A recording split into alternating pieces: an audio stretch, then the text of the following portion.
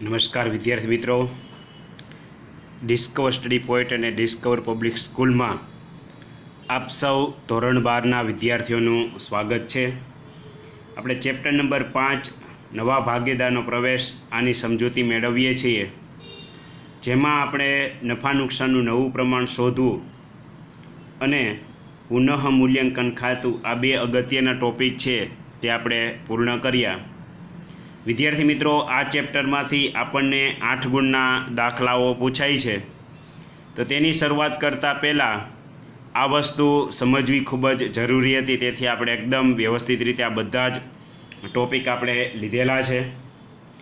હવે આજનો આપણો ટોપિક છે પાઘડીની હિસાબી અસરો, હિસાબી ધોરણ છવ્વીસ પ્રમાણે. એટલે કે accounting accounting treatment of goodwill as per accounting standard twenty six પાઘડીની હિસાબી અસરો આ પણ ખૂબ જ અગત્યનો ટોપિક છે. આપણને આઠ ગુણના જે દાખલાઓ ભણવાના છે તેની અંદર ત્રણ વસ્તુ આવશે. પહેલી વસ્તુ પુનઃ મૂલ્યાંકન ખાતું, બીજી વસ્તુ નફા નુકસાનનું નવું પ્રમાણ શોધવું, અને ત્રીજી વસ્તુ પાઘડી અંગેની હિસાબી અસર. એટલે વિદ્યાર્થી મિત્રો હવે આપણે આઠ ગુણના દાખલા તરફ જ એકદમ જઈ રહ્યા છીએ. તેથી ખાસ આ થિયરી છે તે વ્યવસ્થિત રીતે સમજવાની છે કે પાઘડી એ એક અદ્રશ્ય મિલકત છે. આની નીચે ખાસ તમારી પાઠ્યપુસ્તકની અંદર પછી તમે લાઈન કરી લેજો.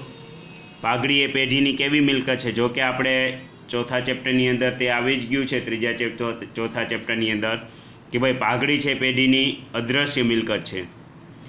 પેઢી જ્યારે તેના હરીફો જે સામાન્ય નફો કમાય છે, તેના કરતાં વધારે નફો કમાય, ત્યારે પેઢીને પેઢીને અધિક નફો મળે છે, જેના કારણે પાઘડી ઉદ્ભવે છે. જે આપણે અધિક નફાની પદ્ધતિની અંદર સમજાવ્યું જ છે કે ભાઈ તમારી પેઢી અન્ય પેઢી કરતાં જે વધુ નફો કમાય છે, તો તેને અધિક નફો કહેવામાં આવે છે. જૂના ભાગીદારોએ જૂના ભાગીદારોએ ભૂતકાળમાં કરેલ પ્રયત્નોને કારણે ધંધામાં પાઘડી ઉદ્ભવે છે. નવા ભાગીદારના પ્રવેશ વખતે આ ખાસ ધ્યાનમાં રાખવાનું છે કે નવા ભાગીદારના પ્રવેશ વખતે જૂના ભાગીદારો તેમને મળતા નફાનો કેટલોક ભાગ નવા ભાગીદારની તરફેણમાં ત્યાગ કરે છે અને જૂના ભાગીદારે કરેલ આ ત્યાગના બદલામાં નવા ભાગીદારે તેમને વળતર આપવું પડે છે અને આ વળતર સ્વરૂપે નવા ભાગીદારને આપવાની રકમને પાઘડીનું પ્રીમિયમ કહે છે. એટલે અહીં તમને પ્રશ્ન તરીકે પૂછાઈ શકે કે ભાઈ પાઘડીનું પ્રીમિયમ એટલે શું? તો વિદ્યાર્થી મિત્રો, જ્યારે ભાગીદારી પેઢીની અંદર કોઈ પણ નવો ભાગીદાર પ્રવેશ મેળવે છે, તો સ્વાભાવિક છે કે જ્યારે કોઈ પણ નવો ભાગીદાર પેઢીમાં પ્રવેશ મેળવે, તો તે સમયે જૂના ભાગીદારોએ પોતાને જે નફો મળે છે, તે નવા ભાગીદારની તરફેણમાં ત્યાગ કરવો પડે. સ્વાભાવિક જ છે કે અત્યાર સુધી ભાગીદારી પેઢીની અંદર બે જ ભાગીદારો હોય તો જેટલો જ નફો થતો હોય તે બધો જ નફો તે બે ભાગીદારને મળી જતો હોય છે. પરંતુ જ્યારે નવો ભાગીદાર પેઢીમાં પ્રવેશ મેળવે છે, તો હવે બે ભાગીદાર છે તેના ત્રણ ભાગીદાર થઈ જાય છે. તો ત્યાર સુધી જે નફો બે ભાગીદારો વચ્ચે વહેંચણી થતી હતી, તે ત્રણ ભાગીદારો વચ્ચે વહેંચણી થશે. આથી જે જૂના ભાગીદારોએ કરેલ ત્યાગ, બરાબર, નવા ભાગીદાર પ્રવાસથી જૂના ભાગીદારોને જે ત્યાગ કરવો પડે છે અને એના બદલામાં નવો ભાગીદાર તેમને વળતર આપવું પડે. કોઈ પણ નવો ભાગીદાર પેઢીમાં જ્યારે પ્રવેશ મેળવે, તો તે જૂના ભાગીદારો ત્યાગ કરે છે, તેના બદલ તેને વળતર આપવું પડે છે. અને આ વળતર સ્વરૂપે નવા ભાગીદારે જે રકમ આપવાની છે, તેને પાઘડીનું પ્રીમિયમ કહે છે. વિદ્યાર્થી મિત્રો, આપણે ચેપ્ટરની શરૂઆતમાં તમને સમજાવ્યું હતું કે નવો ભાગીદાર બે રીતે રોકડ રકમ લાવે છે. જ્યારે આપણે ચેપ્ટરની શરૂઆત કરી હતી, ત્યારે સમજાવ્યું હતું કે નવો ભાગીદાર બે રીતે રોકડ રકમ લાવે છે. એક મૂડી સ્વરૂપે કે તેને જે મિલકતમાં ભાગ મળે છે, તેના બદલામાં નવો ભાગીદાર જે રકમ લાવે છે તે મૂડી તરીકે લાવે છે અને નફાની અંદર જે ભાગ મળે છે, તેના બદલામાં જે વળતર આપે છે તે પાઘડી તરીકે આપે છે.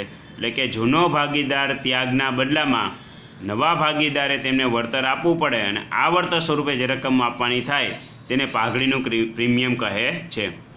હવે અમુક વખતે નવા ભાગીદારના પ્રવેશ સમયે કોઈ જૂના ભાગીદારના નફા નુકસાનના પ્રમાણમાં ફેરફાર ન પણ થાય, તો તેને કોઈ ત્યાગ કરવાનો ન હોવાથી ભાગડીની રકમ તેને ન મળે. નવો ભાગીદાર પેઢીમાં પ્રવેશ મેળવે અને ઘણી વખત એવું થાય કે જૂના ભાગીદારના નફા નુકસાનના પ્રમાણમાં ફેરફાર ન પણ થાય, એટલે કે જૂના ભાગીદારે કોઈ પણ પ્રકારનો ત્યાગ કરવો પડે નહીં. જૂના ભાગીદારે કોઈ પણ પ્રકારનો ત્યાગ કરવો પડે નહીં. એટલે કે ત્યાગ કરવાનો ન હોવાથી તેને પાઘડીની રકમ તેને ન પણ મળે. બરાબર? અને બીજી વસ્તુ, કે કોઈ જૂના ભાગીદારના નફા નુકસાનના પ્રમાણમાં વધારો થાય, તો તેને લાભ થયો કહેવાય. બરાબર? નવા ભાગીદારના પ્રવેશથી કોઈ જૂનો ભાગીદાર છે, તેના પ્રમાણમાં વધારો થાય તો તેને લાભ થયો કહેવાય. એટલે કે અહીં બે વસ્તુ છે કે જ્યારે જૂનો ભાગીદાર પેઢીમાં પ્રવેશ મેળવે છે, ત્યારે નવા ભાગીદારોએ ત્યાગ કરવાનો થાય છે. આ સામાન્ય રીતે આવું થતું હોય છે કે નવો ભાગીદાર જ્યારે પેઢીમાં પ્રવેશ મેળવે, તો જૂના ભાગીદારોએ ત્યાગ કરવાનો થતું હોય છે. પણ આવી બીજી બે પણ પરિસ્થિતિ બને. પહેલી પરિસ્થિતિ એ કે જૂના ભાગીદારના નફા નુકસાનના પ્રમાણમાં કોઈ ફેરફાર જ ન થાય. એટલે કે જૂના ભાગીદારોને જે નફો મળે છે તે જ નફો નવા ભાગીદારના પ્રવેશ પછી પણ મળે. તો ત્યારે ભાગીદારને ત્યાગ કરવો ન હોવાથી તેને કોઈ રકમ ન મળે. અને બીજી વસ્તુ ઘણી વખત ઉલટું પણ થાય કે નવા ભાગીદારના પ્રવેશથી કોઈ જૂના ભાગીદારના નફા નુકસાનના પ્રમાણમાં વધારો પણ થાય, તો તેને લાભ થયો કહેવાય. તો પરિણામે અન્ય જૂના ભાગીદારના નુકસાનને ત્યાગ નુકસાન એટલે કે ત્યાગ થાય છે. તેથી જૂના ભાગીદારે પણ તેને થયેલ લાભના પ્રમાણમાં નવા ભાગીદારની પાઘડીનો આધાર લઈને પાઘડીની રકમ ગણવામાં આવે છે અને જે ભાગીદારે ત્યાગ કરેલ હોય તેના ખાતે જમા કરવામાં આવે છે.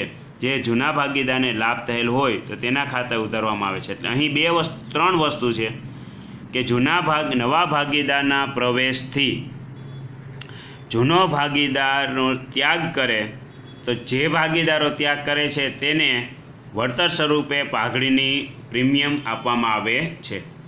બીજી વસ્તુ કે કોઈ જૂનો ભાગીદારના નફા નુકસાનના પ્રમાણમાં કોઈ ફેરફાર જ ન થાય, એટલે કે પહેલાં જેટલો નફો મળે છે, તેટલો જ નફો નવા ભાગીદારના પ્રવેશ પછી પણ મળે. તો કોઈ ભાગીદારને ત્યાગ કરવા ન હોવાથી તેને કંઈ રકમ ન મળે. અને ત્રીજી પરિસ્થિતિ ઉલટી છે કે નવા ભાગીદારના પ્રવેશથી કોઈ જૂના ભાગીદારના નફામાં વધારો થાય તો તે ભાગીદારને લાભ થયો કહેવાય એટલે કે સમજો કે ત્રણ ભાગીદારો છે અને બે ભાગીદારો છે અને ત્રીજો ભાગીદાર પ્રવેશ મેળવે છે. સમજવા માટે આપણે લઈએ કે ભાઈ એ અને બી આ બે જૂના ભાગીદારો છે, સી છે તે પેઢીમાં પ્રવેશ મેળવે છે. હવે સી ભાગીદારના પ્રવેશથી એ અને બી બંને ત્યાગ કરે. બરાબર? આ પરિસ્થિતિ મુજબ એ અને બી બંને ત્યાગ કરે તો નવો ભાગીદાર સી જે રકમ લાવે છે, તે ભાગીદાર એને પણ મળશે અને ભાગીદાર બીને પણ મળશે. આ પરિસ્થિતિ મુજબ કે સી ભાગીદારના પ્રવેશથી માત્ર એ ભાગીદાર જ ત્યાગ કરે છે. બીના નફામાં કોઈ ફેરફાર થતો નથી. એટલે કે તેને લાભ પણ થતો નથી અને ત્યાગ પણ કરતો નથી. તો નવો ભાગીદાર જે રકમ લાવશે, તે માત્ર ભાગીદાર એને જ મળશે. ને આ પરિસ્થિતિ મુજબ કે નવા ભાગીદારના પ્રવેશથી માત્ર એ ત્યાગ કરે છે અને બીને લાભ થાય છે. એ ભાગીદાર છે, તે ત્યાગ કરે છે અને બી ભાગીદાર છે, તેને લાભ મેળવે છે. નવા ભાગીદારના પ્રવેશથી એ ભાગીદાર ત્યાગ કરે છે અને બી ભાગીદાર લાભ મેળવે છે. તો તેથી જે જૂના ભાગીદારને લાભ થયેલ હોય, તેના ખાતે પાઘડીની રકમ પણ ઉધારવામાં આવે છે અને જે ભાગીદારે ત્યાગ કરેલ હોય તેના ખાતે જમા કરવામાં આવે છે. એટલે ત્રણ પરિસ્થિતિ. નવા ભાગીદારના પ્રવેશથી જૂના બંને ભાગીદારો ત્યાગ કરતા હોય તો બંનેને રકમ મળશે. નવા ભાગીદારના પ્રવેશથી માત્ર એક જ ભાગ ત્યાગ, એક જ ભાગીદાર ત્યાગ કરતો હોય અને એક ભાગીદારની રકમમાં કોઈ પણ પ્રકારનો ફેરફાર થતો ન હોય તો માત્ર એક જ ભાગીદારને રકમનો લાભ મળશે. જ્યારે નવા ભાગીદારના પ્રવેશથી કોઈ એક ભાગીદારને ત્યાગ થતો હોય અને બીજા ભાગીદારને લાભ થતો હોય તો જૂના ભાગીદારના મૂડી ખાતે રકમ જમા થશે. એમાં જે ભાગીદારને લાભ થયો છે તેના ખાતે ઉધાર અને નવા ભાગીદારના મૂડી ખાતે ઉધાર અને જૂના ભાગીદારના મૂડી ખાતે જમા. આ રીતે ત્રણ પરિસ્થિતિ છે એટલે ખાસ તમારે ધ્યાનમાં રાખવાનું છે. નવા ભાગીદારના પ્રવેશથી જૂના ભાગ બંને ભાગીદારો ત્યાગ કરતા હોય તો બંનેના ખાતે જમા થશે. એક જ ભાગીદાર ત્યાગ કરતો હોય તો માત્ર એક જ ભાગીદારના ખાતે જમા થશે. અને નવા ભાગીદારના પ્રવેશથી એક ભાગીદાર ત્યાગ કરતો હોય અને એક ભાગીદારને લાભ થતો હોય તો જે ભાગીદાર ત્યાગ કરે છે તેના ખાતે જમા થશે. અને નવો ભાગીદાર અને જૂનો ભાગીદાર કે જેને લાભ થયો છે તેના ખાતે રકમ છે તે ઉધારવામાં આવશે. પાઘડી અંગેની હવે આપણે નવા ભાગીદારના પ્રવેશ અંગે પાઘડી અંગે જરૂરી હિસાબી અસરોનો અભ્યાસ કરીશું.